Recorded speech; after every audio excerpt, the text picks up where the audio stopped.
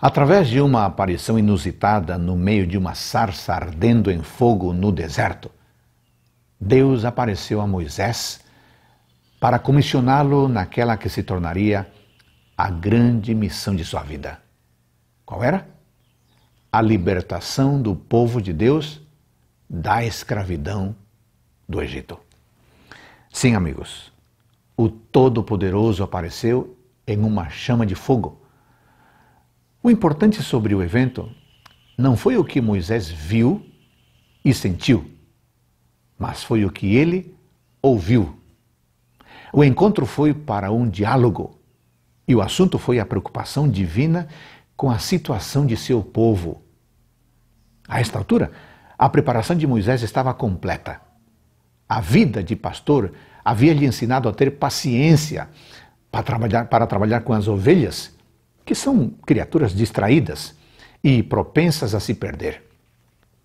A paciência, amigos, seria muito valiosa em pouco tempo. Israel seria um rebanho muito, mas muito difícil de liderar. Três elementos centrais são encontrados na conversa entre Deus e Moisés.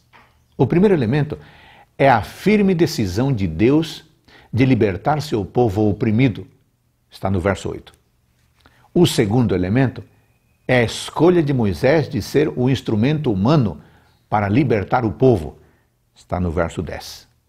O terceiro elemento é a relutância de Moisés em assumir uma responsabilidade tão grande e difícil. Isso está no verso 11.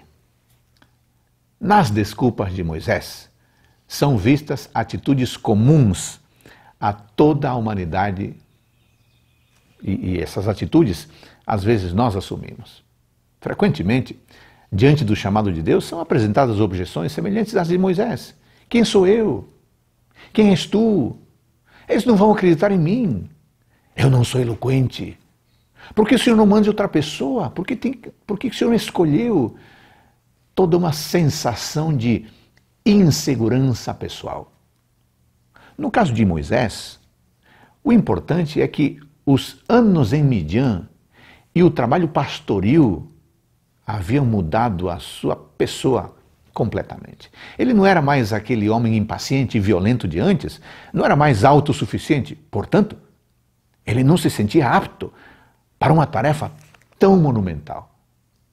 Isso mostra que ele era um homem transformado. Transformado.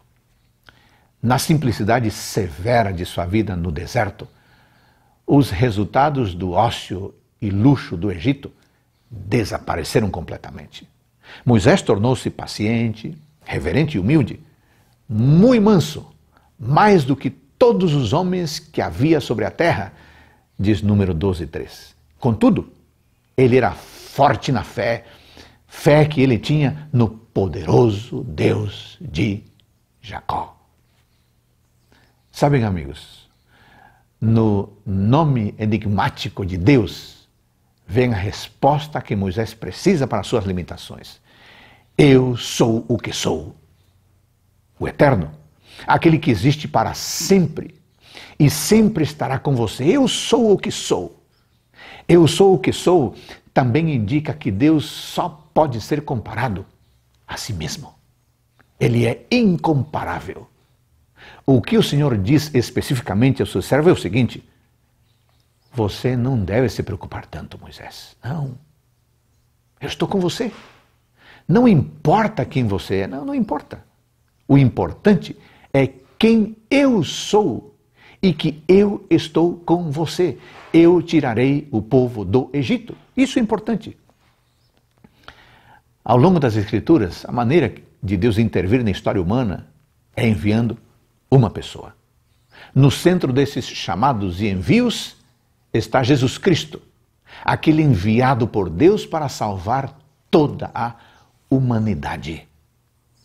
Deus continua a procurar homens e mulheres dispostos a servir. Ele quer enviá-los para dar a mensagem de salvação ao mundo que perece. E você? Está disposto, está disposta a ser enviado por Deus?